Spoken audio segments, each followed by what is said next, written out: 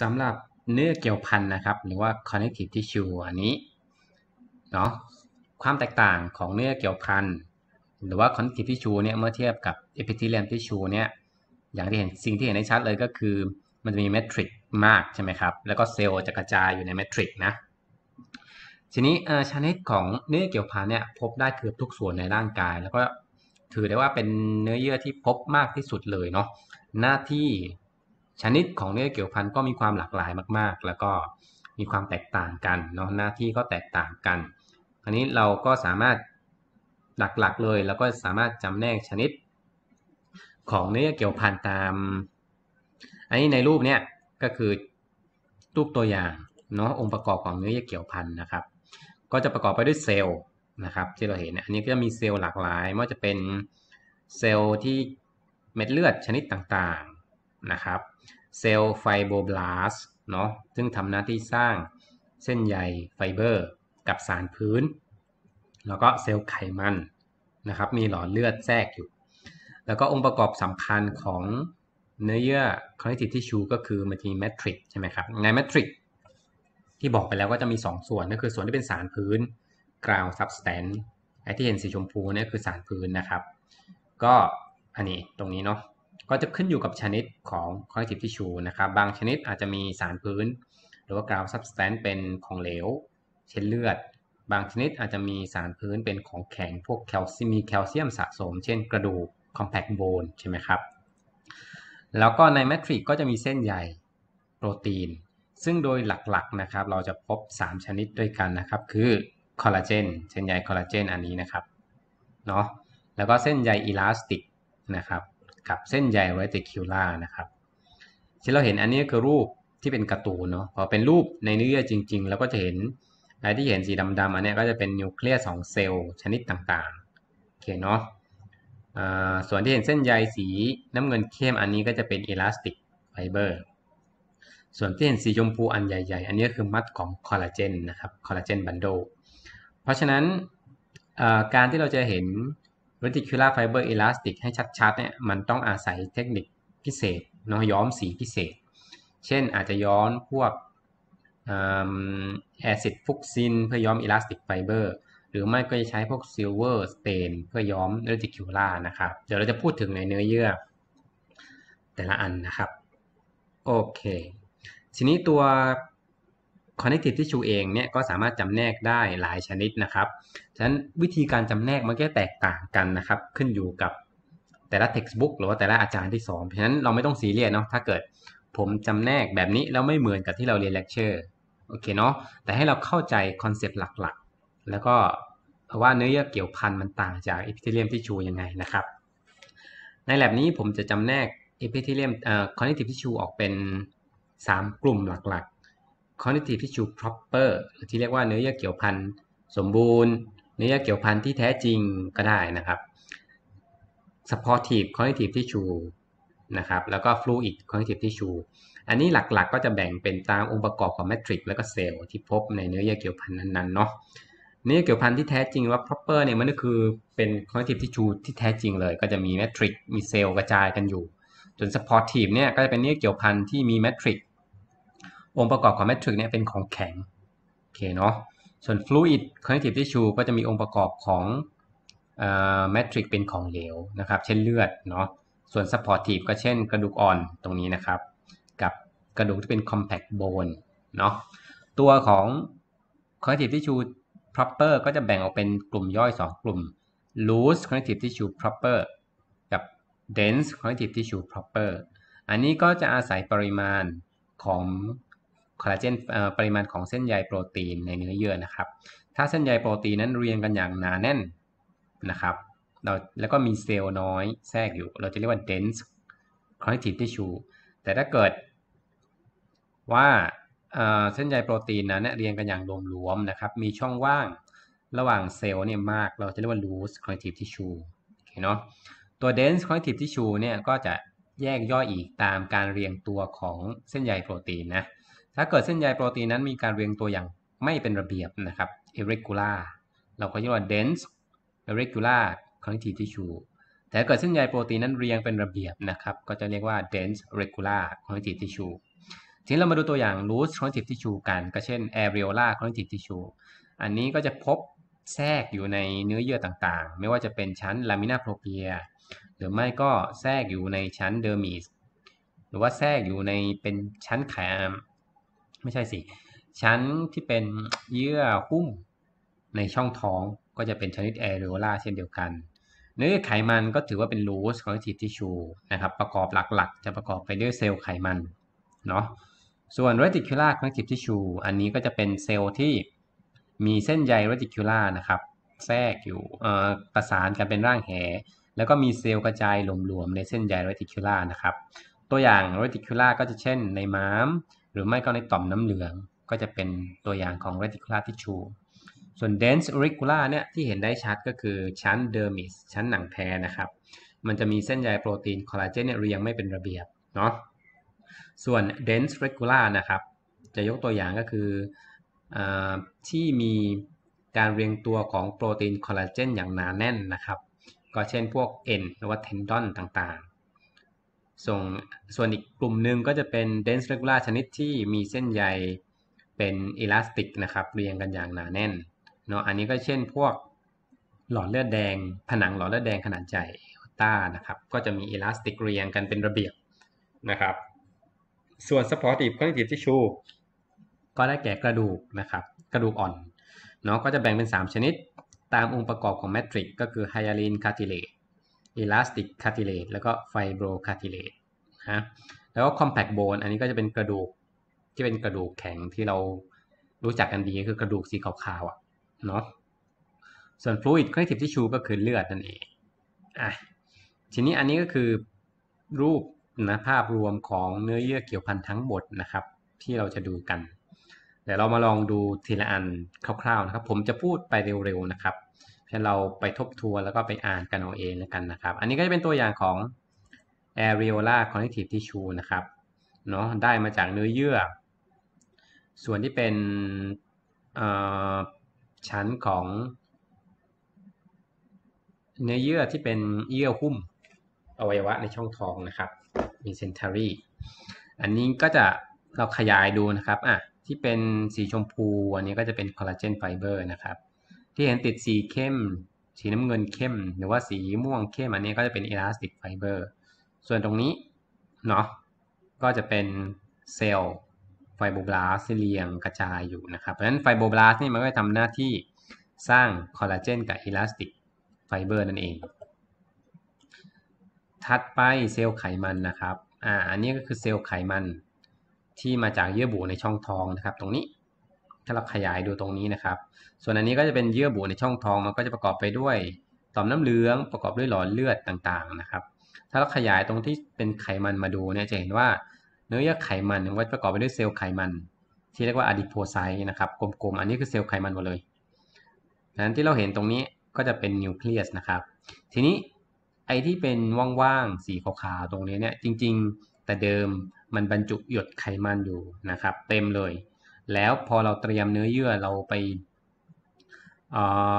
ขั้นตอนในการเตรียมเนื้อเยื่อเนี่ยมันจะทำให้ไขมันนี่ละลายไปหมด กลายเป็นช่องว่างที่เรียกว่าวัดคิวโอนะครับฉะนั้นมันก็เลยทำให้เซลล์ไขมันมีลักษณะคล้ายกับแหวน เรียกว่า signet ring โอเคนะครับอันนี้ ถัดไปอันนี้ก็จะเป็น reticular tissue นะครับ ก็คือเนื้อเยื่อจากต่อมน้ำเหลืองนะครับ ย้อมด้วย silver stain เนาะไอ้ที่เราเห็นสีดำๆตรงนี้ที่เขาย้อม silver stain ก็เพื่อที่จะให้เห็น reticular fiber นะครับอะที่เราเห็นสีดำๆเข้มๆอันนี้ก็คือ reticular fiber นะครับถ้าเราย้อมด้วยย้อมปกติมันจะไม่เห็นโอเคเนาะฉะนั้นไอ้ที่เซลล์กลมๆ อันนี้ก็คือลิมโฟไซต์เซลล์เม็ดเลือดขาวที่อยู่ในต่อมน้ำเหลืองโอเค ถัดไปก็จะเป็นตัวอย่างของ dense irregular connective tissue เห็นว่าอันนี้คือชั้น dermis หรือว่าชั้นหนังแท้นะครับ พอเรามาขยายดูจะเห็นว่าเนี่ยไอที่เห็นเป็นมัดมัดทั้งหมดเนี่ยมันก็คือคอลลาเจนไฟเบอร์เองเนาะอันนี้เรียงอีกทิศทางหนึ่งอันนี้ก็เรียงอีกทิศทางหนึ่งมันเรียงไม่เป็นระเบียบเราก็เรียกว่า dense irregular connective tissue โอเคเนาะส่วน dense regular ก็จะมี 2 กลุ่มนะครับ dense fibrous connective tissue ก็คือที่เป็นเส้นใยคอลลาเจนส่วนอีกอันหนึ่ง dense elastic นะครับ ก็จะประกอบไปด้วยเส้นใยอิลาสติกเนาะที่เรียงกัน แน่นแล้วก็เป็นระเบียบนะครับ ตัวอย่างของ dense fibrous อันนี้ก็มาจาก tendon นะครับ ก็คือ N นะครับ อันนี้ที่เราเห็นเนี่ยคือ N นะครับสองข้างนี่เป็นกล้ามเนื้อเนาะเพราะว่า N มันจะยึดกล้ามเนื้อกับกระดูกใช่ไหมครับ อันนี้พอเราขยายตรงส่วนที่เป็น tendon เนี่ยเราก็จะเห็นมัดเส้นใยคอลลาเจนอันนี้เนาะ อันนี้ก็จะเป็นสีชมพูเนี่ยก็จะคือมัดเส้นใยคอลลาเจนส่วนเซลล์ไฟโบบลาสเนี่ยก็จะเห็นไม่ชัดนะครับ แทรกอยู่ในมัดเส้นใยคอลลาเจน อันนี้ก็หลอดเลือดแดงใหญ่ aorta นะครับย้อมด้วย aldehyde fuchsin เพื่อย้อมเส้นใยอิลาสตินนะครับ เราจะเห็นว่าเนี่ยพอเราขยายผนังหลอดเลือดใหญ่มาดูก็จะเห็นเส้นใยอิลาสติน หรือว่า elastic fiber เรียงกันเป็นแถว ฉะนั้นมันทำให้เส้นใย elastic มันจะทำให้หลอดเลือดนี่ยืดหยุ่นนะครับ มีความยืดหยุ่นมากขึ้น โอเคอะ เป็นนะว่าเราก็จบ connective tissue proper นะครับ ต่อไปก็จะเป็น supportive connective tissue เนาะ ก็จะมี 3 ชนิด 2 ชนิด cartilage กระดูกอ่อน กับ compact bone ที่เป็นกระดูกนะครับ กระดูกอ่อนก็จะแบ่งออกเป็น 3 ชนิด hyaline cartilage ส่วนที่เป็น elastic cartilage แล้วก็ fibro cartilage อันนี้มันก็จะจำแนกตามลักษณะของ matrix นะครับ hyaline cartilage เนี่ย matrix จะมีลักษณะใสๆนะครับ สีออกใสๆโทน สีฟ้าฟ้าม่วงๆนะครับ เรามักจะเจอ hyaline cartilage ที่บริเวณข้อต่อกระดูกอ่อน ที่เวลาเรากินไก่อะส่วนที่เป็นกระดูกที่ข้อต่อที่เรากรุบกรุบอันนั้นอะคือ hyaline cartilage เนาะส่วน elastic cartilage ชื่อมันบอกแล้ว matrix ของมันเนี่ยจะเต็มไปด้วย elastic fiber นะครับ เราจะเจอหลักๆ ก็เช่นที่กระดูกอ่อนบริเวณใบหู กับกระดูกอ่อนบริเวณกล่องเสียงหรือว่า epiglottis นะครับ แล้วก็อันสุดท้าย fibrocartilage อันนี้ก็คือใน matrix ของ fibrocartilage เนี่ยจะประกอบไปด้วยมัดเส้นใยคอลลาเจนจำนวนมากนะครับเมื่อเราจะเจอที่ตำแหน่ง เจอไม่ไม่ไม่เจอเจอเฉพาะที่บริเวณ หมอนรองกระดูกนะครับ หรือว่าหมอนรองกระดูกสันหลัง หรือว่า intervertebral disc นะครับอันนี้จะเจอเฉพาะที่นี่ที่เดียวนะครับเรามาดูตัวอย่าง อันนี้ก็เป็นตัวอย่างของไฮยาลินคาติเลตจากหลอดลมหรือว่าเทเคียนะครับ ที่เราให้ดูแล้วตะกี้เนาะกระดูกอ่อนที่เป็นรูปตัว C รูปว่ารูปเกิดม้านะครับ ทีนี้เราก็ขยายดูอะเราก็จะเห็นว่า matrix นะครับ มันจะล้อมรอบเซลล์อยู่ ถ้าเราขยายมาดูนะครับเซลล์ของกระดูกอ่อนทั้ง 3 ชนิดจะเรียกว่า chondrocyte นะครับซึ่งไอ้เจ้าเซลล์เนี่ยมันก็อยู่ในแอ่งที่เรียกว่า lacuna นะครับนี้มันจะแอ่งอยู่ แล้วเจ้า lacuna เนี่ยก็จะมี matrix ที่อยู่รอบๆเซลล์เนี่ยมันจะมีลักษณะสีเข้มๆหน่อย เราจะเรียกว่าแคปซูลนะครับไอ้เจ้าคอนโดรไซต์เนี่ยมันก็จะสร้างเมทริก นะครับเพราะฉะนั้นบริเวณที่อยู่ใกล้ๆกับคอนโดรไซต์มันก็เลยติดสีเข้ม เราจะเรียกว่าแคปซูล โดยปกติเซลล์มันจะอยู่เป็นกลุ่มๆเนาะคอนโดรไซต์นะครับ โอเคเนาะ แล้วก็ตัวของกระดูกอ่อนเนี้ยทั้ง 3 ชนิดจะไม่มีหลอดเลือดมาเลี้ยงนะครับ โดยไอ้เจ้าเมทริกของมันเนี่ยจะยอมให้สารอาหารกับน้ำเนี่ยผ่านได้นะครับ แล้วก็เยื่อหุ้มมันกระดูกอ่อน hyaline cartilage ก็จะมีเยื่อหุ้มนะครับ เรียกว่า perichondrium หุ้มอยู่รอบๆนะครับ ต่อไปก็จะเป็น elastic cartilage ก็จะมีลักษณะเช่นเดียวกับ hyaline cartilage เลย เพียงแต่ว่าต่างกันตรงที่ matrix จะประกอบไปด้วย elastic fiber เป็นหลักนะครับ เซลล์กระดูกอ่อนก็จะเรียกว่า chondrocyte ซึ่งก็จะอยู่ในแอ่งที่เรียกว่า lacuna นะครับ รอบๆก็จะมีแคปซูลหุ้มอยู่โอเคเนาะแล้วก็มี perichondrium หุ้มเช่นเดียวกับ hyaline cartilage เลยโอเคเนาะอ่าแต่ว่าไอ้เจ้า fibrocartilage เนี่ยสิ่งที่แตกต่างกันก็คือนอกจากmatrix จะประกอบไปด้วย collagen fiber นะครับ เป็นมัดมัดเนี่ยเห็นชัดเลยนะครับ อันนี้คือที่ติดสีเข้มๆ อันนี้คือมัด collagen fiber เนาะ แล้วก็เซลล์ chondrocyte เช่นเดียวกันนะครับ อยู่ในแอ่ง lacuna นะครับ แล้วก็เซลล์ก็จะเจอไม่เยอะนะครับ เจอจำนวนน้อย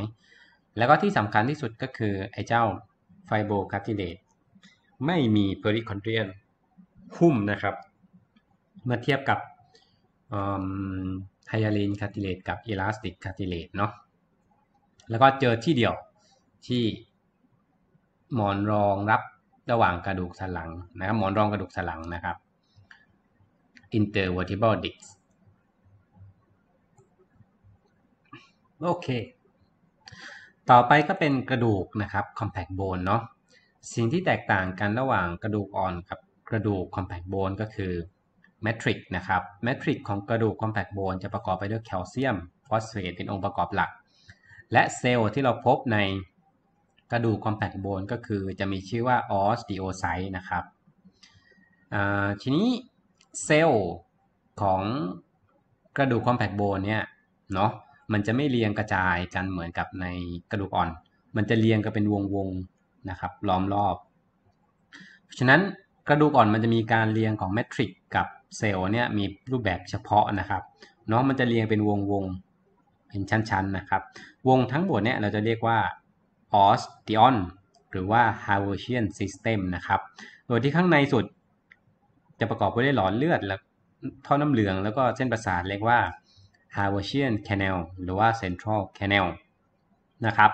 แล้วก็ชั้นถัดไปก็จะเป็นเซลล์ osteocyte เรียงกันนะครับ ซึ่ง osteocyte เนี่ยมันก็จะมีแอ่งอยู่นะครับ นั้นเนื่องจาก matrix มันเป็นแคลเซียมอะเซลล์มันก็จะต้องมีแอ่งอยู่ข้างในใช่ไหมครับ เซลล์มันจะอาศัยอยู่ในแอ่งที่เรียกว่า lacuna เช่นเดียวกันเนาะ แล้วเนื่องจากว่า matrix เนี่ยมันไม่ยอมให้สารอาหารกับน้ำผ่าน แต่ละเซลล์มันจึงมีท่อเล็กๆ ท่อฝอยเล็ก ๆ เชื่อมต่อกันนะครับ ที่เราเห็นเป็นฝอยๆอันนี้เรียกว่า canaliculi นะครับ ซึ่งสารอาหารจาก Haversian canal จากหลอดเลือดเนี่ยจะผ่าน canaliculi ไปยัง osteocyte แต่ละชั้นแต่ละชั้นเรียงกันไปนะครับ เพราะฉะนั้นเซลล์ในแต่ละวงเนี่ยก็จะได้รับสารอาหารครบถ้วนนะครับ ทีนี้มันก็จะมีหลอดเลือดเชื่อมต่อระหว่าง แต่ละอันนี้ Haversian System อันที่1 Haversian System อันที่2นะครับอันนี้มีหลอดเลือดอยู่ แต่ละ Haversian System ก็จะมีหลอดเลือดเชื่อมกันด้วยนะครับ เรียกว่า Volkmann Canal นะครับเดี๋ยวเราค่อยมาดูกันเนาะว่ามันคืออะไรอะอันนี้คือลักษณะกายวิภาคศาสตร์ของกระดูกนะครับ ถ้าเรามาดูตัวอย่างกระดูกนะครับ อันนี้ก็คือ Haversian System 1 อันนะครับหรือว่า Osteon ประกอบไปด้วย Haversian Canal กับ Osteocyte ที่เราเห็นสีดำๆอันนี้เซลล์ที่มันอยู่ในช่องนี้มันตายไปแล้ว เพราะว่าเวลาเตรียมกระดูกก็คือเราจะเอากระดูกมาฝนนะครับ เราก็จึงไม่เห็นเซลล์ Osteocyte เราจะเห็นเฉพาะlacuna นะครับแอ่ง lacuna ที่มี osteo ที่เคยมี osteocyte อาศัยอยู่นะครับ อันนี้ก็จะเป็น v o l k m a n Canal ที่เชื่อมระหว่าง h a r v e r s i a n Canal 2 อัน นะครับแต่ละชั้นเนาะพอเราเอา1 h a r v e r s i a n System มาขยายดู ชั้นที่เป็นวงวงเนี่ยนะครับแต่ละชั้นที่มี matrix เนี่ยเราจะเรียกว่าชั้น lamella นะครับโอเคเนาะอ่าอันนี้ขยาย osteocyte มันเคยอยู่ในช่องนี้เนาะ lacuna ท่อฝอยอันนี้เล็กๆนะครับก็คือ canaliculi เนาะอันนี้คือภาพตัดตามขวางของกระดูกนะครับ แสดงให้เห็น Volkmann canal โอเคเนาะถัดไปก็จะเป็นสุดท้ายนะครับก็คือ fluid connective tissue หรือว่าเลือดนะครับ อันนี้ในเลือดก็จะประกอบไปด้วยเซลล์เม็ดเลือดชนิดต่างๆ กับพลาสมานะครับที่เป็นของเหลวไอ้เจ้าพลาสมาเนี่ยก็คือ matrix นั่นเองโอเคเนาะแต่ว่ามันเป็นของเหลวเนาะส่วนเลือดเอ่อเซลล์นะครับที่อยู่ในเลือดก็จะประกอบไปด้วยหนึ่งก็คือเม็ดเลือดแดง red blood cell นะครับอันนี้ แล้วก็เกล็ดเลือดนะครับเกล็ดเลือดจริง ๆ ไม่ถือว่าเป็นเซลล์เพราะว่ามันไม่มีนิวเคลียสเนาะมันเป็นเศษของเซลล์นะครับ ส่วนเม็ดเลือดแดงเนี่ยแต่เดิมมันเคยมีนิวเคลียสนะครับ แล้วมันก็กำจัดนิวเคลียสออกโอเคนะเพราะอะไรลองไปหาคำตอบดูนะครับ แล้วก็มีเซลล์เม็ดเลือดขาวชนิดต่างๆ ยกตัวอย่างเช่น neutrophil basophil eosinophil lymphocyte แล้วก็ monocyte นะครับ เซลล์เม็ดเลือดขาวจะยังคงมีนิวเคลียสอยู่เนาะเมื่อเทียบกับเซลล์เม็ดเลือดแดงนะครับ แล้วก็นิวเคลียสของเซลล์เม็ดเลือดขาวเนี่ยจะเห็นว่ามันมีลักษณะเหมือนกับเป็นภูๆนะครับ แล้วก็แต่ละอันมันก็จะมีรูปร่างของนิวเคลียสไม่เหมือนกัน แล้วถ้าเราดูในไซโตพลาซึมนะครับ ก็จะเห็นว่าใน neutrophil basophil กับ eosinophil เนี่ยก็จะมีองค์ประกอบสารในไซโตพลาซึมไม่เหมือนกัน อันนี้ติดสีแดง อันนี้ติดสีน้ำเงินนะครับ อันนี้ก็ขึ้นอยู่กับ หน้าที่ของเม็ดเลือดขาวแต่ละชนิดนะครับโอเคเนาะผมจะไม่พูดถึงรายละเอียดนะครับ ถ้าใครอยากรู้ก็ลองไป search หาใน Google ดูเนาะโอเค เราก็จบเนื้อเยื่อเกี่ยวพันเพียงเท่านี้นะครับ